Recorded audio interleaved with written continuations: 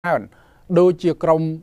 ក្រមព្រហ្មទណ្ឌក្រមរដ្ឋបវេនីច្បាប់ប្រឆាំងអំពើពុករលួយ ច្បាប់ត្រួតពិនិត្យគ្រឿងញៀនច្បាប់ពន្ធនាគារនិងការខិតខំធ្វើកំណែទម្រង់ប្រព័ន្ធតុលាការជាដើមអ្នកវិភាគឯករាជ្យនៅកម្ពុជាលោកបណ្ឌិតឡៅមុងហៃមានប្រសាសន៍ថា ចាប់តាំងពីឆ្នាំ1993មក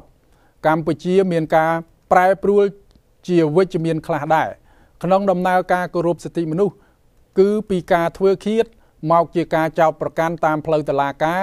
លើបទញុះញង់ឬបទបរិហាកេរកាលពីឆ្នាំ2009និងឆ្នាំ2010កន្លងទៅអាជ្ញាធរកម្ពុជាបានចោទប្រកាន់អ្នកកសែតនិងសកម្មជនសិទ្ធិមនុស្សមួយចំនួនពីបទផ្សាយព័ត៌មានមិនពិត និងបទញុះញង់ក្នុងនោះរួមមានបុគ្គលិករបស់អង្គការ Likhado លោកលៀងសុកជឿន ប្រធានអង្គការត្រួតត្រងអរិយធម៌ខ្មែរលោកមឿងមឿងសុនមន្ត្រីអង្គការស្បៀងអាហារពិភពលោក លោកសេងគុណកានិពន្ធនាយកកាសែតខ្មែរម្ចាស់ស្រុក លោកហងចក្រារួមនឹងប្រធានគណៈបកជំទាស់លោកសំរងស៊ីផងចំណែកលោកច័ន្ទសវេតមន្ត្រីសមាគមការពារសិទ្ធិមនុស្សអាតហុកថ្លែងថាការគោរពសិទ្ធិមនុស្សនៅកម្ពុជា អាចដំណើរការត្រឹមត្រូវទៅបានលុះត្រាតែមានការទទួលយកនៅអនុសាសន៍របស់សង្គមស៊ីវិលឬការធ្វើប្រជាមតិឲ្យច្រើនមុនពេលអនុម័តច្បាប់សំខាន់សំខាន់ទាំងឡាយអតីតតំណាងការិយាល័យនៃឧត្តមស្នងការរបស់អង្គការសហប្រជាប្រជាជាតិទទួលបន្ទុកសិទ្ធិមនុស្សប្រចាំនៅកម្ពុជាលោក Christopher Peshok ធ្លាប់មានប្រសាសន៍ ថាដើម្បីឲ្យការគោរពសិទ្ធិមនុស្សនៅកម្ពុជាមានការវិវត្តជឿនលឿនទៅបាន គឺចាំបាច់ត្រូវមានយន្តការច្បាប់ ហើយដើម្បីឲ្យយន្តការច្បាប់នោះមានប្រសិទ្ធភាព និងឯករាជ្យទៅបានលុះត្រាតែកម្ពុជាអនុម័តច្បាប់ នៅសេសសល់ចំនួន3សំខាន់សំខាន់គឺច្បាប់ស្តីពីការរៀបចំនិងការប្រព្រឹត្តទៅនៃប្រព័ន្ធតុលាការច្បាប់ស្តីពីលក្ខន្តិកៈចៅក្រម និងព្រះរាជអាជ្ញា និងច្បាប់ស្តីពីវិសោធនកម្មច្បាប់ឧត្តមក្រមប្រឹក្សានៃអង្គចៅក្រមបាទនេះគឺអឺចប់នៅព័ត៌មានដែលខ្ញុំបាទដកស្រង់ពីវិទ្យុអាស៊ីសេរីហើយស្ដីអំពីប្រទេសកម្ពុជាហើយខ្ញុំក៏មានព័ត៌មានខ្លីមួយទៀតដែលអឺខ្ញុំដកស្រង់ចេញពីកាសែតឡូសាន់ហើយព័ត៌មាននេះគឺតាក់ទងដល់ទីក្រុងឡូវែលយើងតែម្ដង ហើយព័ត៌មាននេះបានកើតឡើងកាលពីថ្ងៃទី10បានកាលពីថ្ងៃទី10នេះ គឺមានការចូលទៅជនប្រដាប់អាវុធចូលទៅប្លន់គឺ home invasion ហ្នឹងនៅ South Lowell យើងហ្នឹងហើយអាជ្ញាធរទីក្រុង Lowell ហ្នឹងចាប់បានមនុស្ស4នាក់ហើយហើយអ្នកទាំងនោះគេបានរាយនាមដោយខាងក្រោមគឺ Jose Gonzalez អាយុ17ឆ្នាំ Brian Rodriguez 17ឆ្នាំដែរហើយ Nicholas Hunt 18ឆ្នាំហើយ Bruce Benitez 17ឆ្នាំហើយអ្នកទាំងអស់នេះគឺគាត់បានចូលទៅផ្ទះគេអាចចាត់ទុកថាជាការចូលទៅមានបំណងប្លន់ក៏បានបាទបាទហើយមួយទៀតគឺតកតងដល់រឿង ដែលមិនមែននៅក្នុងទីក្រុងឡូទេគឺនៅគឺនៅ Cambridge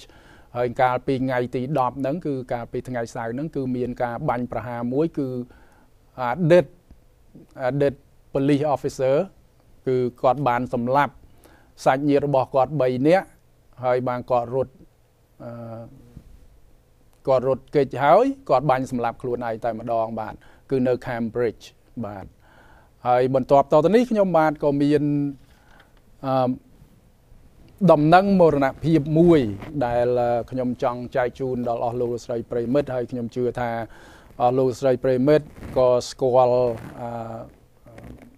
មនុស្សគឺលោកដែលទទួលមរណភាពនេះដែរគឺលោកឈ្មោះលោកងួនសុធិរិទ្ធគឺហៅស៊ុយបាទគឺភាកច្រើនគឺស្គាល់គាត់ឈ្មោះថាស៊ុយបាទហើយគាត់បានចែកឋានទៅ គឺទទួលមរណកាលទៅនៅនៅថ្ងៃប្រហោះកាលពីសប្តាហ៍មុនបាទហើយលោកបានទទួលមរណកាលនៅក្នុងបន្ទប់របស់លោកតែម្ដង បាទហើយខ្ញុំក៏នៅទីនោះដែរនៅពេលដែលយើងបានទៅឃើញលោកបានស្លាប់នៅក្នុងបន្ទប់របស់លោកបាទហើយដំណឹងនេះគឺជាដំណឹងដ៏សោកសៅមួយហើយខ្ញុំក៏ មិនបាច់រាយរាប់អ្វីវែងឆ្ងាយខ្ញុំនឹងសូម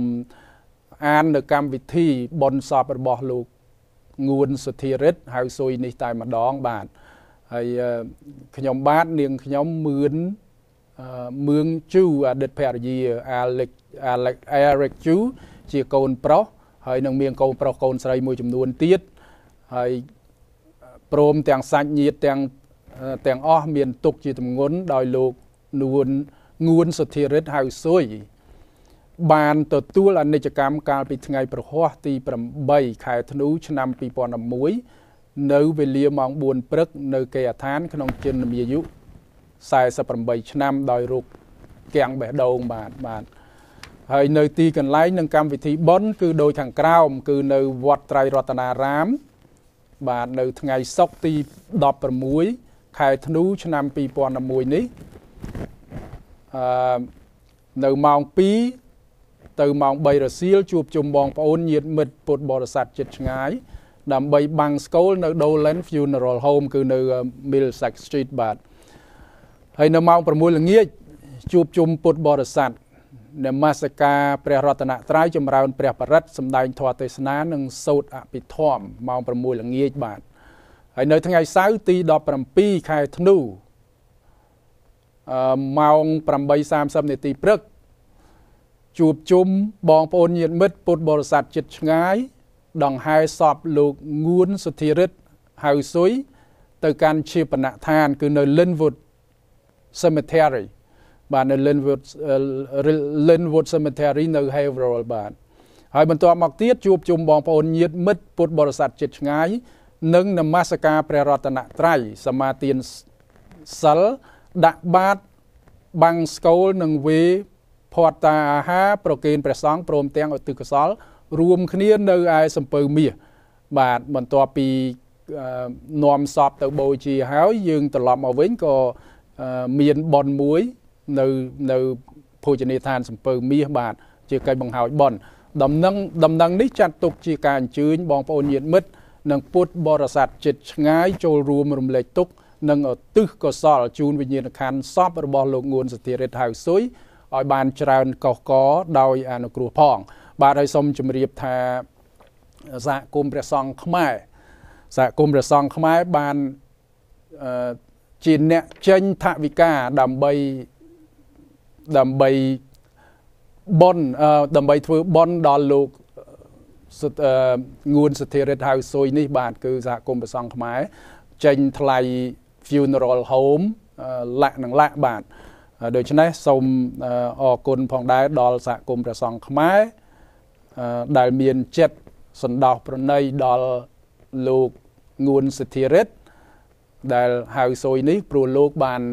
ធ្វើពលិកម្មជាច្រើន ចំពោះសង្គមខ្មែរយើង ជាពិសេសនៅក្នុងប្រទេសកម្ពុជាផង បាទលោកបានលះបង់ពេលវេលាថវិកាជាច្រើនដើម្បីជួយដល់ប្រជាពលរដ្ឋយើងដូច្នេះ នេះគឺជាការតបស្នងសងគុណដល់លោកវិញហើយបាទហើយអញ្ចឹងនៅថ្ងៃសៅរ៍នេះខ្ញុំបាទក៏សូមអញ្ជើញអស់លោកលោកស្រីប្រិយមិត្តដែលធ្លាប់ស្គាល់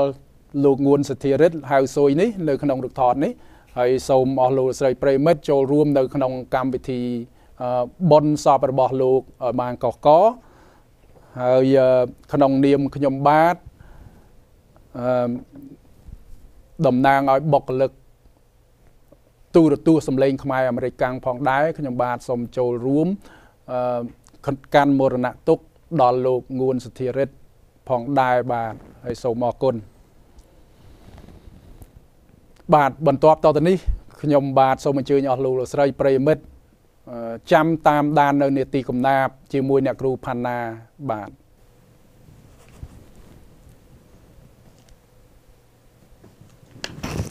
ខ្ញុំផាណាកឹមសូមស្វាគមន៍ដល់អស់លោកលោកស្រីនិងប្រិយមិត្តជាទីរាប់អានទាំងអស់នៅលារាត្រីនេះ នាងខ្ញុំបាននាំយកកំណាបចំនួន2អត្ថបទដែលជាអត្ថបទខ្លីៗមកជូនអស់លោកអ្នកស្ដាប់កំសាន្តកំណាប់ទី1មានចំណងជើងថាស៊ីគុយទាវមួយតុកឲ្យមកចាញ់លុយតែឯងនិពន្ធដោយសេកសេរីអឺ ស៊ីគុយទាវមួយតុកឲ្យមកចាញ់លុយតែឯងនេះជាពាក្យសម្ដីរបស់ខ្មោចតាមុកមេខ្មែរក្រហមមួយរូបបានចោទប្រកាន់ទៅលើសមមិត្តចាស់របស់គាត់ដែលដោះដៃយកខ្លួនរួចមិនឲ្យតុលាការអន្តរជាតិចាប់ខ្លួន ក្រោយពីសម័យប្រឡាយពូជសាសពីឆ្នាំ1975ដល់ឆ្នាំ1979មានខៀវសំផននួនជាប៉ុលពតអៀងសារី និងស្ដេចសីហនុ កំណាប់នេះចងក្រងជាបទពាក្យ8ខ្ញុំនឹងសូត្រជាបទយីកេដូចតទៅដល់មកងាប់ទៅដូចបានដំណែងចេញលុយតែឯងមួយឆ្លើយដាំងមួយអើយក្នុងព្រៃជាមិត្តរួមខ្នើយរួមភួយកាណងបោះពួយយើងខ្មែរជាខ្មាំង ចោតើអីលើម្ដេចមិនចេញមុខកុំសល់សែងទុក យើងជានាងខ្លាំងអើយត្រូវតែក្លានដោយគ្រាចំបាំងទាំងទួលក្រសាំងកណ្ដាប់ដៃដែក រះខ្មែររងចាំចង់ឃើញកាត់ក្តី ខ្មែរទាំងប្រុសស្រី ថ្ងៃនេះថ្ងៃស្អែកអើយត្រូវតែចេញមុខកុំបីអើយប្រកែកទាំងសឹងដែលស្រែកឲ្យចូលមកគីគុយទាវមួយតុកស៊ីជាមួយគ្នាសំផននួនជា អាពុតសារីអើយមិត្តនុងមេខ្លោងក៏រួមគ្នាស៊ីអីលើដល់ទីដងដៃរួយខ្លួន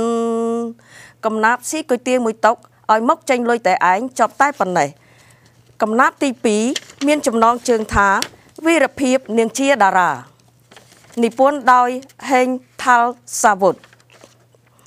អត្ថន័យនៃកំណាប់នេះ អ្នកកវីបានសរសេររៀបរាប់ អំពីសេចក្តីក្លាហានរបស់នាងជាតារា ដែលអស់សង្ឃឹមក្នុងជីវិត ដោយនាងសុកចិត្តសម្លាប់ខ្លួន ចៅស្វាមីនិងកូនប្រុសស្រីរបស់នាង នៅពេលដែលក្រុមប៉ូលីសរឹបអូសដីភូមិនិងកំទេចផ្ទះរបស់នាង នៅភូមិបង្កក់កំណាប់នេះអ្នកនិពន្ធចងក្រងជាបទពាក្យ8ហើយនឹងខ្ញុំនឹងសូត្រជាបទយីកេដដែលវីរភាពនាងជាតារា កូនប្រុសទួញយំស្រែកសួររកម្ដាយ គួរឲ្យសោកស្ដាយនាងជាតារាអើយសុកចិត្តអត្តឃាតចោលបត់នើយកំព្រាស្ពានជ្រោយចង់វាបញ្ចប់ជីវិតយុទ្ធតគ្មានទេ សង្គមសັບម័យមេខ្មែរអំប្រៃពូជួនអុកក្រិតនើយបង្កក់ងើយបង្កំនេះជារឿងពិតនើយនាងសៃជីវិតព្រោះអងអើយសង្ឃឹមបត្រាបន្ត្រី ស្វាមីទួញសោកឯក្រុមនាយមកខំប្រឹងញញឹមមើយប៉ូលីសដេរឆានអើយដូចខ្លាក្រហមផ្ដាញ់ក្តីសង្ឃឹមអ្នកភូមិបង្កង់ស៊ូស្លាប់ជាងរួងព្រោះបកបងផ្ទាំង គ្មានសទ្ធិជាម្ចាំងគេវាយកាញ់ឆងអើយគេកិនកំតិចញើយសំឡាប់មើយទាំងរួងគួរឲ្យស្រណងរងទុកងើយខ្លោចផ្សាបើអ្នកមានខួតួពិតជាមនុស្សសូមអ្នកមើលចង់នាងជាតារាអើយស្រីស្រីខ្មែរពិតនើយមានចិត្តនើយហានខ្លាសុងចិត្តមរណាព្រោះស្ដាយភូមិឋាន សង្ឃឹមប្រលឹង ទៅបរមសុខពលកម្មនាំមុខនាំខ្មែរខ្លានើយរំសាមគីគ្នាបដិវត្តនើយឲ្យបានផ្ដួលមេ សាមានផុតពីអំណាចនេតិកំណាប់ជាមួយនារីជាមួយនឹងខ្ញុំចប់តែប៉ុណ្ណេះសូមអរគុណ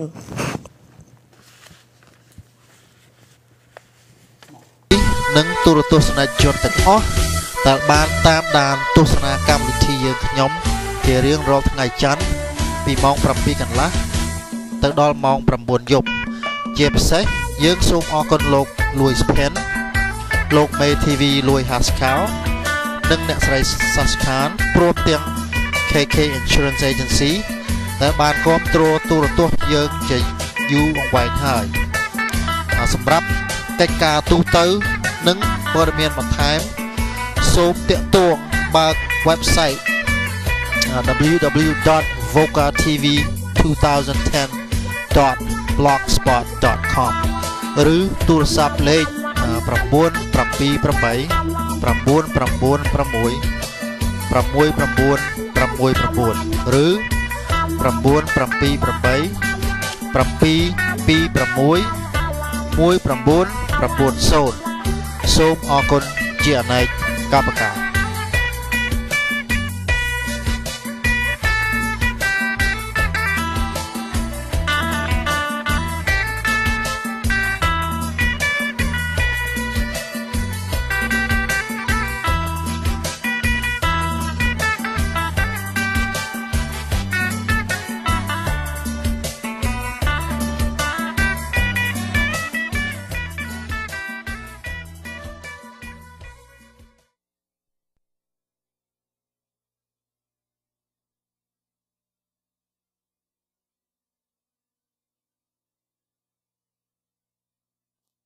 ហើយ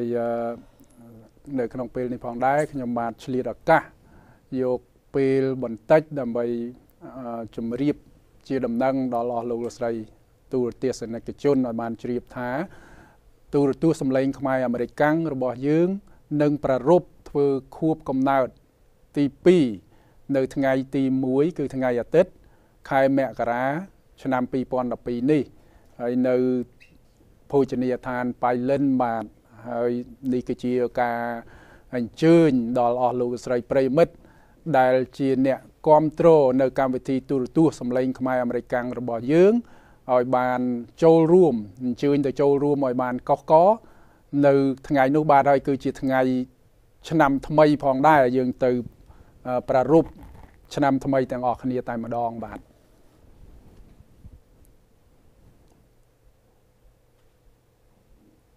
បាទកម្មវិធីរបស់យើងគឺមាននៅលើកញ្ចក់ទូរទស្សន៍តែម្ដងហើយបើសិនជាអស់លោកលោកស្រីប្រិយមិត្តមានបំណងចង់តាក់ទងមកពួកយើង គឺតាក់ទងបងរិទ្ធីក៏បានលេខទូរស័ព្ទនៅលើហ្នឹងហើយអ្នកគ្រូវិយាដាហើយខ្ញុំបាទក៏បានស្ទីវិនក៏បានបាទបាទហើយលំដាប់តនេះខ្ញុំបាទសូមអញ្ជើញអស់លោកលោកស្រីប្រិយមិត្ត ទូរទស្សនិកជនអញ្ជើញតាមដានជាមួយនឹងបទវិចារណកថាដោយលោកបងអង្គរិទ្ធីដោយតទៅបាទជំរាបសួរបាយបង្គំព្រះធេរានុត្រៈតាលយាយបងប្អូនញាតិសន្តានទីបងប្អូនខ្មែររួមលោហិតរួមឈាមយុតិគ្រប់ស្នេហាយប់នេះអឺលោក Patrick Murphy ដែលត្រូវអញ្ជើញមកដើម្បីចូលរួមជាមួយការសម្ភាសរបស់យើងខ្ញុំ មិនបានមកទេដោយមានកម្មវិញឹកអឺដោយជំទាន់ក្នុងករណីរោគជាសមាជិកក្រុមប្រឹក្សានៅទីក្រុង Lowell ផងដែរខ្ញុំបានសូមរំលឹកថាកម្មវិធីខែពហុមុននេះគឺថាលោកហុលនរងដែលជាចាងវាង នៃកម្មវិធីនេតិសង្គមខ្មែរបានផ្សាយឡើងអំពីការដែលអ្នកសមាជិកសមាជិកានិងចៅអធិការហើយនឹងប្រសង់ដែលគង់នៅវត្ត ត្រីរតនរាមខាងក្រោមបាននឹងធ្វើការរៀបចំបញ្ចូលរួមគ្នាក្នុងការរស់នៅ ការរួមសាច់រួមឈាមរួមសាសនាតែមួយ នៅក្នុងវត្តត្រៃរតនរាមតែមួយទៅតាមសេចក្តីសង្ឃឹមរបស់យើងខ្ញុំទាំងអស់គ្នានេះជាកិច្ចការល្អមួយដែលលោកហ៊ុនរងបាន លើកឡើងជាការពិតជាក់ស្ដែងណាស់ការដែលលើកឡើងដោយគ្មានការពាក់ព័ន្ធនឹងគូភាគីម្ខាងទៀតគឺជាការមួយដែល ធ្វើឡើងដោយមិនត្រឹមត្រូវព្រោះថាវត្តត្រៃរតនារាមសប្ថ្ងៃមិនមែនគឺជាវត្តត្រៃរតនារាមតែមួយដោយកាល12ឆ្នាំទៅដែលគណៈកម្មាធិការបានចាត់តាំងឡើងដោយតុលាការកម្ពុជារបស់រដ្ឋ Massachusetts ដែលមានអឺសមាជិកគណៈកម្មាធិការនយោបាយចំនួន13នាក់និងដែលក្នុង13នាក់គឺថាក្នុងចំណោមម្នាក់គឺថាគឺជាសហប្រធានរបស់គណៈកម្មាធិការវត្ត ដែលបានផុតអាណត្តិការពីថ្ងៃទី21ខែវិច្ឆិកាកន្លងទៅនេះដូច្នេះការធ្វើឲ្យដែលធ្វើឲ្យដំណើរស្ទះដំណើរការនោះគឺថា